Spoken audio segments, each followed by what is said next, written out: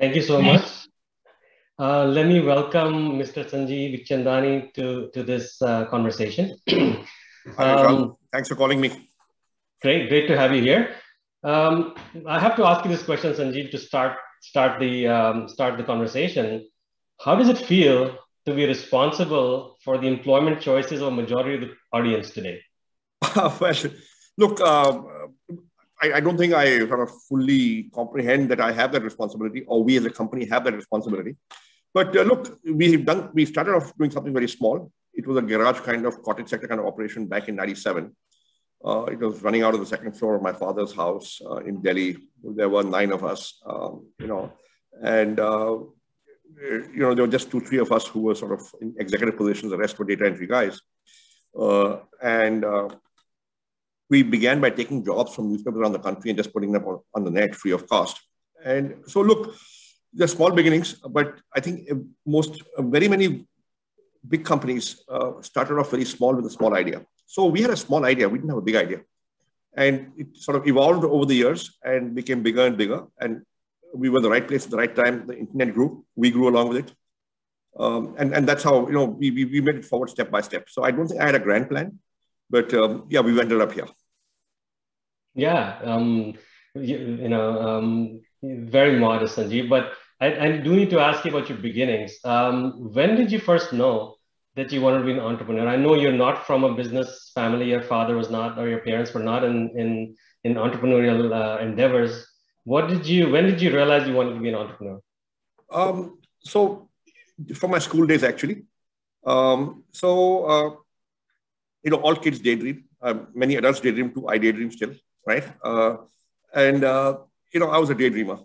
Uh, yeah. So when I was 10 years old, I saw a, a Rajesh Khanna film in cinema hall independently for the first time with my friends, without my parents being there. Do you, do you remember which one? Uh, Hathi Mere Sathi. yes, of course. there was a cinema hall in Delhi called Chanakya, had just been newly built. It no yeah. longer exists, but uh, it's now a mall. Um, and uh, we used to live in the neighborhood, so you know we went. I saw Hathi Mere Sathi, and I came back completely starstruck and enamored. And I said I will grow up and be Rajesh Khanna. Right? of course, these are all silly pipe dreams, uh, unrealistic. After a few months, uh, you know, I maybe a year, I saw Sunil Gavaskar playing on on a test match. I saw it on TV, and I said, you know, I will be Sunil Gavaskar. But somehow, when I was 12 or 13 years old, maybe two years after that, it got into my head that maybe at some point in time uh, I want to start a company. You know, in those days, we didn't use the word entrepreneur. We mm-hmm. said, uh, you know, I my business karunga. You know, right. okay, right. I will do a business. Uh, okay, right. Uh, and you know, uh, somewhere I think I think there are kids who will do what their parents do, and there are kids who simply won't. So my father was a doctor and in the government, uh, and so I was clear I would not be a doctor and I would not join the government. So by a process of elimination, I came down to, you know, okay, private sector, okay, private sector, then then what? Then, you know, I need to be independent. So for me, it was independence, create, you know, ability to create. And so I'll, I'll do my own thing. And this sort of came along as a fuzzy goal when I was 12 or 13 years old. Uh, and uh, it was fuzzy goal. It was a fuzzy goal. And, uh, but it stayed with me. It kept coming back. By the time I was in class 11 or 12, I was clear that at some point in time in life, I should be an entrepreneur. Okay. Um, of course, uh, you know, uh, uh, as a distant goal, it's always good.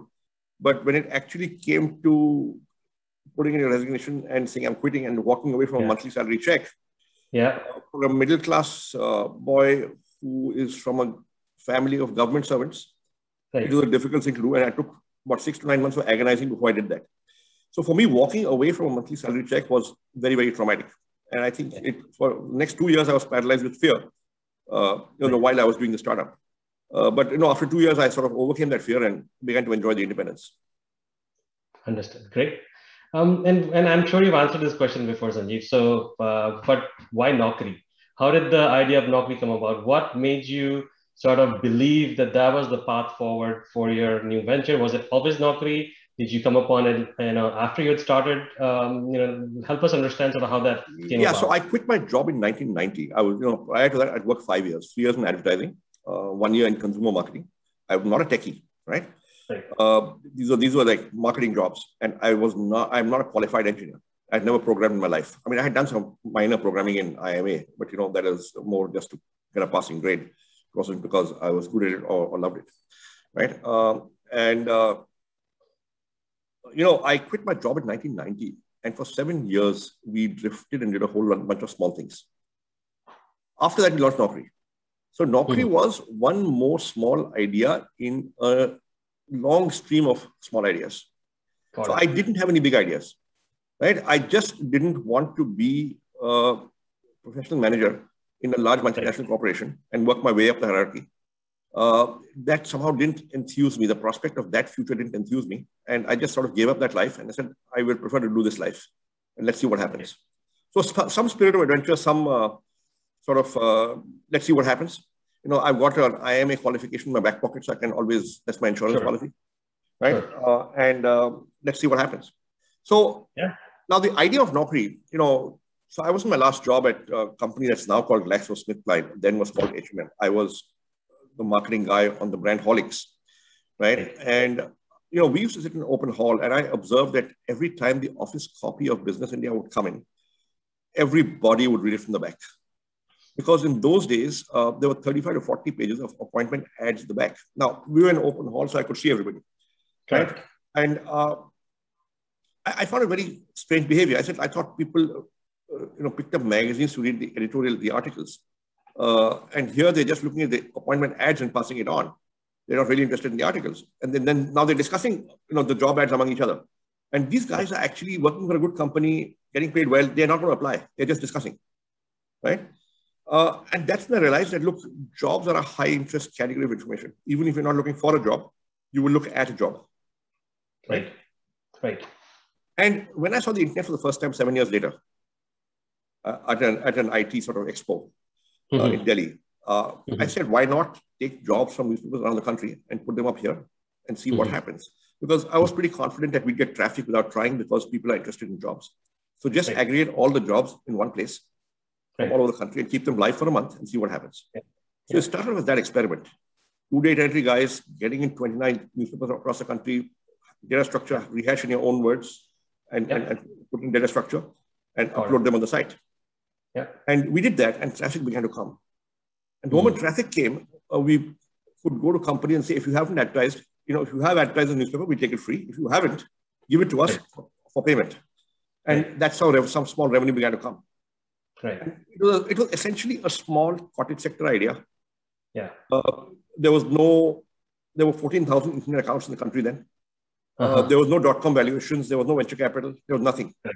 It was, uh, you know, there was no big vision. It was, uh, there was a sales, there was a sales target. That look, if in three years' yeah. time I can get a thousand companies to pay 500 rupees a month to put up one job, that's five lakhs a month. That's 60 lakhs a year. Uh, yeah. That is five times what the company is doing today uh, yeah. in other, in a, in a few other products. Uh, so if you can do that in three years, it's fantastic. And that was the extent of our ambition. Great. Um, yeah, I mean, obviously you were early in the uh, whole ecosystem. You you know there weren't like you said there weren't that many um, uh, internet startups in those days dot com startups venture capitalists so bootstrapping challenges right you must have faced challenges as you bootstrap the company um, you're also an early mover technically uh, so there must be technical challenges in just the infrastructure being available for consumers for for your own company so um, you know i'd like to hear a little bit about sort of that you know being early movers can be good and bad and um, you know, and also being bootstrapped and being an early mover. How do you sort of, what was your sort of uh, experience in that? Well, look, uh, I think the principal problem was uh, lack of capital. Mm-hmm. Uh, what lack of capital meant was that you got to be really frugal. I wasn't taking a salary. Uh, I had got uh, other two co-founders. Mm-hmm. You know, I had taken the, all the financial risks. I had launched a company seven years ago. I got in two people to help with this project. I gave them equity and not salary. I gave them a percentage of revenue every month and not a fixed salary. Mm-hmm. Uh, so, so you you try and minimize your committed fixed outgoes, sure. and you and, and you bootstrap, um, and then you hope for the best. Okay. Uh, so if, if your costs are low, then uh, you know you probably survive even if revenue is low. So your costs are in your control. Your revenue is never in your control. Revenue is uh, you know you hope for the best, right? You try hard and hope for the best. That's revenue right? But yeah. costs, you know what you're committing to. Yeah. So I was clear that look, costs have to be low. Yeah. Then even if revenues uh, aren't what they could be, you will still survive. So the initial target was survival. So survival was success. If you survived to meet payroll at the end of the month, you were good. And I remember we, we used to try and pay salaries on the 28th or 29th of, or the 30, 30, 30th every month. Right. And there were days when on the 28th, I did not know where the paycheck, paycheck was coming yeah. from. Yeah. Right. But somehow, somehow it always happened. Next couple of days, you know, enough money came in and uh, you were able to make payroll. Wow. Um, you know, I've, I've been an entrepreneur as well, and I'm bootstrap as well, so I kind of sympathize with the with the experience. Uh, was there a moment for you when sort of proverbial penny dropped, when you sort of felt that, look, I've hit something, or my idea is is really valuable, or that some, you know, the, the wins are behind me, or, or I have the right team? Um, you know, was there a moment like that for you? Yes, uh, I, I, I would say moment. I would say there was perhaps a, a period or a phase where our mm-hmm. thinking evolved. So we launched Naukri in April '97, right? And we were doing other stuff also alongside because it was one of our four or five or six things that we were doing. You know, teaching, training, writing, uh, you know, some market research, some uh, salary survey, right? And this became a fifth thing. Let's put two guys on to see what happens, right? And uh, for the first six months, there was, uh, uh, you know, there, there, was no revenue on Naukri. It was just ads from newspapers.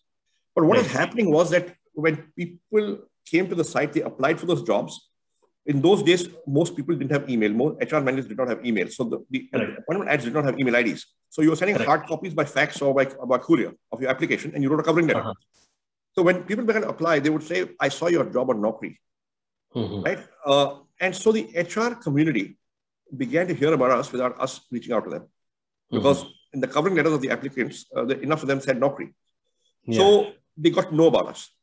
About six months later, we got a call uh, from a guy who said, I'm a small auto component manufacturer in Pune, uh, medium size, whatever. I, I, forget the guy's name and I forget his company's name. He was our first paid client. I, and I forget his name. He's a, he's a travesty. But, uh, you, know, you know, I've got six jobs uh, which are not advertised. You have taken my jobs from newspapers in the past, but I've got six I've not advertised.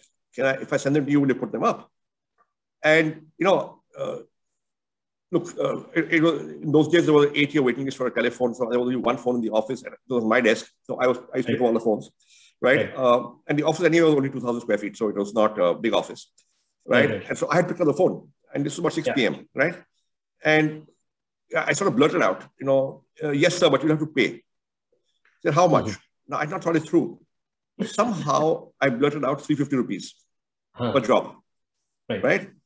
And uh, without thinking. And that became the price for the Naukri single job listing for the next 10 years. Wow. Okay, so much, so much for pricing strategy and all your MBA education, all that, right? Um, okay, anyway, so this guy sent the check. And that's when I realized, hey, maybe we're onto something. Let me just try it. Mm-hmm. And we took out all the jobs we put up in the last six months mm-hmm. and pulled out the names of the companies, the type, the designation of the advertiser, the address, pin code, city, all that. And we right. sent them all a letter 3,000 names. We send them all a letter saying, look, this is the internet, this is Naukri, this is the format, send us your jobs, this is the price. Right. And so we so money began to come in by direct mail. Yeah. People will send the jobs along with the check. Correct. Right. And that sort of kind of chugged along. And uh, in the first, so we launched in April 97. So September 97 to March 98, we did two and a half lakhs. The mm-hmm. next year we did 18 lakhs. Right. Mm-hmm. Now, I had never seen uh, anything jump. Now, this is a small numbers today, but uh, you know, for us, it was a big number. Correct. Right? Uh, this, you know, I had never seen anything jump 7x in one year, right. even of a small base. Correct. Right. Uh, and definitely said, you know, we may be onto something big. So around the middle of 98, I said, let's just stop doing everything else and focus all resources on this. We are now an internet company. It. And it wasn't a one day thing, it was a three week thing, you know, one, one month thing. But around that period, I said, you know, I suspect we have stumbled upon a big idea. Yeah. By accident. God. So, customer... so many experiments, one worked out. yeah. So I mean, customer mindshare, customer feedback, right? Really, you really saw the customers react to the to the uh, sort of uh, opportunity you're presenting in front of them. And hopefully, I think some of the entrepreneurs today in the audience will also take that to heart on sort of how uh, key it is to really get to understand what the customer is looking for.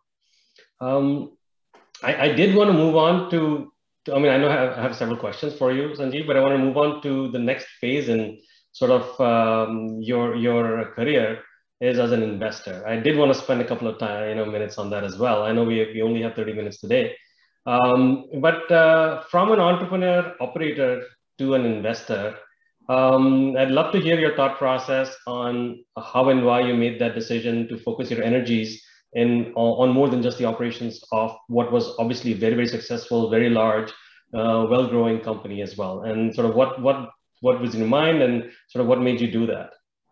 Well, you know, um, first of all, uh, very fortunate to have uh, senior colleagues um, and, and, you know sort of partners who uh, were there to pick up the mantle should I ever have to step aside, right? So we weren't short of management bandwidth at the top, right? Mm-hmm. Uh, we done, I think done a good job of putting a senior team together and then down the line. Okay. Yeah. What that meant was post the IPO. So during the IPO process for a year before that, you know, I had to sort of, uh, I was called the CEO, but effectively I had to stop being the CEO, except for getting the IPO through. That took about 11 months.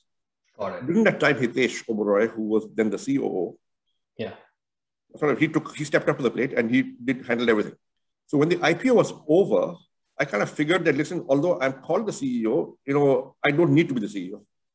Yeah. Right. Hitesh is ready. Okay. Yeah. So this is. It, it, took us about I think four years to sort of uh, actually do that. But yeah. that was in, in, my head, and Hitesh was also ready, and you know we were discussing it, and uh, so and we had this money sloshing around in the bank, and we were profitable. The IPO money, yeah. right? And we, we, were sort of making money every month, every quarter. Yeah. So we said, what do we do with this capital? Uh, yeah. Right? And it may be a good idea to go out do some acquire something. But when we went out, we figured that there's nothing to acquire, and whatever there is is perhaps too expensive. We would never buy at that price. Correct. And then we realized that look, there are a whole bunch of uh, people trying to do stuff. Uh, they're super smart and bright. We can't do all those things. We don't have all those ideas. We don't have the leadership bandwidth, and they'll never come and work for us. So why don't we back them and yeah. see where that goes? And uh, at that time, there was some venture capital, but not the kind of venture capital there is today in India. So they, that seemed to be an underserved segment as far as capital is concerned. Right. Uh, so we, or we put our toes in the water. And in 2007, a year after the IPO, we sort of put a small sum of money in one company, then second company, third company, uh, mm-hmm. from a balance sheet. Mm-hmm. And in 2010, I sort of stepped aside as CEO and began to do this full time. So once again, like Naukri, started off as a small cottage sector activity, uh, figuring it, figuring it out as we went along. I had you know one and a half people. Right. even now, there are only six people. Um, you right. know, okay. uh, in wow. the in the investing team, mm-hmm. uh, and uh, we we do this. Great. Um, you know, do you look at startups in you know do you weigh your own experience as an entrepreneur when you look at startups and sort of what values so you we have a notion we, we have a few notions on uh, you know mm-hmm. who to back what to back what to look for we aren't mm-hmm. always right and we miss some good ones so if you look at our anti list uh, some really big home runs we've missed sure but that's fine you know as long as the ones you do are okay enough of them you know we're all right but uh, but uh, you know uh, uh, if i tell you the ones i've missed you know you'll see what a lousy investor you are sanjeev no, but is there is there a thesis that uh, that you look at? Is it really yeah? So one, one thing we like to see market? is yeah, I'll tell you. Uh, we like to see some evidence of natural traction that this thing has got legs, and uh, without spending on marketing, it's kind of spreading, right? Which means it's probably hitting a hot button, solving an unsolved problem. Uh, you know, we like to talk to the customers we one important question we ask is where did you get this idea from? Your idea kahan se aaya? Hanji, yeah, right. So we, we get a we get a good sense of the how compelling the value prop is, right? Uh, obviously, team is important, uh, but the third thing we look at is look, can this thing ever make money? Mm-hmm. We are great believers in revenue, profit, cash flow, mm-hmm. and and you know and and uh, because I believe in the long run you'll be valued of a profit multiples. Correct. So if we can't figure out how this company could make profit, ever. Right. Right. We, we tend to stay away. Right. Right. Uh, you know, uh, and then we go in and we stay for a long time. So, for example, uh, in uh, Policy Bazaar, we invested first in 2008. We continue to invest, and we invested last in 2019. Now, you can do that off the balance sheet. Sure.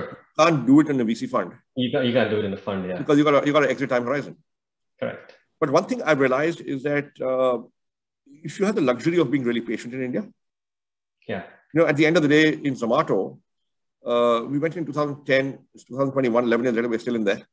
And, you know, had we run a seven, eight year, nine year fund, we would have probably wanted to exit by 2016. Right, and, but a lot of our value creation and uh, appreciation has come in the last three years. Right. And we would have missed that.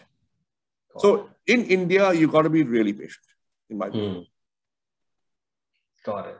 Right now, do you did you do you enjoy being an investor more than an operator, or is not it for the first two parts years. of your brain?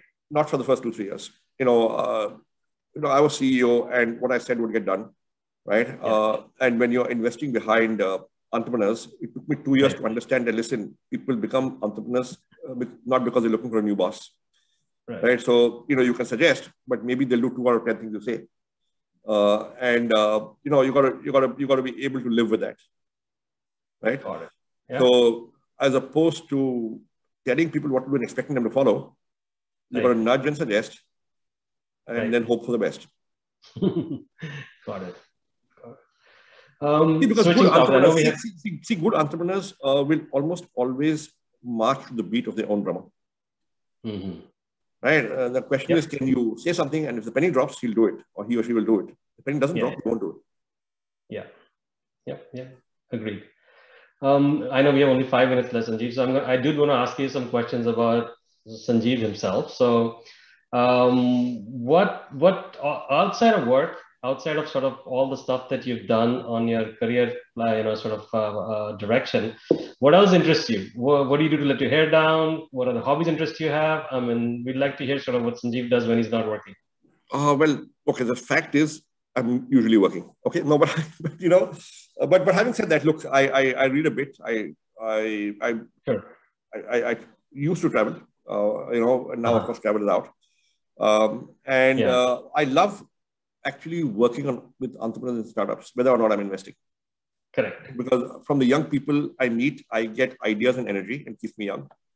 Right. And keeps me to problem solving. I'm uh, interested in supporting a few institutions, um, right. and therefore I do some philanthropy there um, you know, uh, largely in the area of education.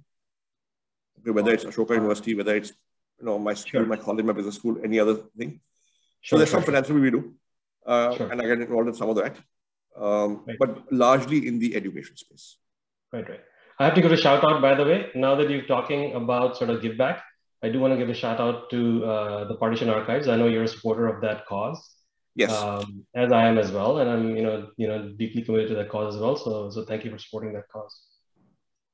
Um, if you you know uh, sort of more of a lighthearted question, if you had to invite one person for dinner, uh, anywhere in the world, somebody who everybody would know here, who would it be, and why? You know, uh, I, I you know, I could say anybody. I could say Shah Rukh Khan. I could say Amitabh Bachchan. I could say, you know, I could say, I, I, you know, I could say Sachin Tendulkar. But you know what? I, I'd really like to talk to the guy who gave us our first check in Naukri. I don't uh-huh. know who he is. I've forgotten the name of the company. Uh, but he started the ball rolling and he gave us our first check proactively, inbound interest. And, uh, uh, you know, and that's what said, okay, now it's time to start earning revenue. But I'd like to, uh-huh. I'd like to meet that guy. Wow. Okay, great. Now maybe we can get the word out and, and see if that, if that person can, can reach out. Um, uh, I, I time wise, I think I just wanted to sort of um, give you the opportunity to talk a little bit about the impact you've had. Sanjeev, it's a tough question. It's a big question. Um, you know, the theme of our event is the multiplier effect. And I think for you, your multiplier effect has been in so many different ways as an entrepreneur, uh, for your investors, for your employees, um, for the for the people who are looking for jobs, honestly, right? And, and so many other things. So I'd love to hear sort of your thought on um, the multiplier effect and sort of how you view it, you know, in, in your uh, sort of lens. Well, look, I think uh, doing stuff that has uh, impact beyond what you do is really important because what you do is important. But mm-hmm. देखो India में क्या होता है ना कि the government uh, set up five IITs. Right. Uh, their graduates were in demand and succeeded, and the demand for admission to IITs exceeded the number of seats pretty quickly. Correct. And, and that led to 4,000 engineering colleges coming up all over India, right? right. Uh, and if you look at the Indian IT sector, uh, you know, that has been built not by the IITs, it's been built by all the engineers because mm-hmm. you need a couple of few million people working there, right? Yeah. And it is the yeah. IT sector that has led to India being able to take advantage of the tech opportunity today beyond right. IT services, right? right uh, where you're talking about the internet, uh, apps, tech, product companies, you know, and so on, right? Uh, and that's what is creating all this wealth, value, market cap, uh, job creation, all of that. Uh, mm-hmm. Now, that is a multiplier effect. Sure. Five IITs, 4,000 engineering colleges. It took sure. 50 years, but it happened. Correct. Right? Yeah. Likewise for business schools. Mm-hmm. Two IIMs, then the third one, and then there are 3,000 business schools. Okay. Sure. Uh, we want to do that for Ashoka. One mm-hmm. liberal arts college can make it work. Will others copy you? And you should be open to be copied and encourage copying. Right. Because India needs maybe 100 Ashokas, 1,000 Ashokas. Correct. Likewise, one company, uh, InfoEdge, yeah. Uh, you know, it grew, right. it went public. Correct. It, it, sort of showed others that look, it can be done. Sure. Invest in some, like Zomato policy bazaar worked out well. It shows others it can be done. I think that's right. important. So right. India, in with 1.4 billion people, 1.3 billion people, uh, you know, no, you need you need models that will succeed and then inspire others to do similar things, right. or follow a similar path. I think that's really important. Perfect, perfect. Thank you. I know we have one minute left. I wanted to give you uh, maybe 60 seconds if you have some final takeaways. Uh, the audience today is about 2,000 people. We have a lot of young entrepreneurs. Uh, there is a lot of alumni from some of the, uh, the engineering and management schools that we have here. We have some faculty from these universities as well. So it's a broad audience and obviously some investors as well. Uh, I wanted you to take 60 seconds to think, you know, if you had any takeaway, especially for the young entrepreneurs, especially yeah, for the yeah. guys. So I, I, just, I just say one thing that for the people who are starting out as entrepreneurs and have not got funding, right? Just remember that the customer's money is more important than the investor's money, right? Because if you're getting the customer's money and you're getting repeatedly from the same customer at a price that's higher than your cost, then chances are you have a viable company, so long as you get enough customers, right? And if you are getting the customer's money on these terms, the investor's money will almost certainly follow because investors love to invest behind customers who are getting uh, behind companies who are getting their customers' money. But if you get the investor's money first, it does not necessarily mean the customer's money will follow. Because the customer right. is unforgiving. The customer will only give you money a second time right. if you deliver the first time. That means your right. stuff is working. But getting the investor's money is about perhaps impressing two, three people across the table with your PowerPoint. And that could be just the arbitrary judgment of those three people that, you know, this, this thing sure. is worth making. Sure. So therefore, I would say focus on getting the customer's money first before, before trying to get the investor's money. Great. No, that's terrific advice. Um, it's a been a privilege, Sanjeev, to have a few minutes of your time to speak with us and our Thank team. you so much for um, inviting me. Thank you so much. Really appreciate the time and, and look forward to, uh, to learning more from you. Thank you. Bye-bye. Bye. Bye.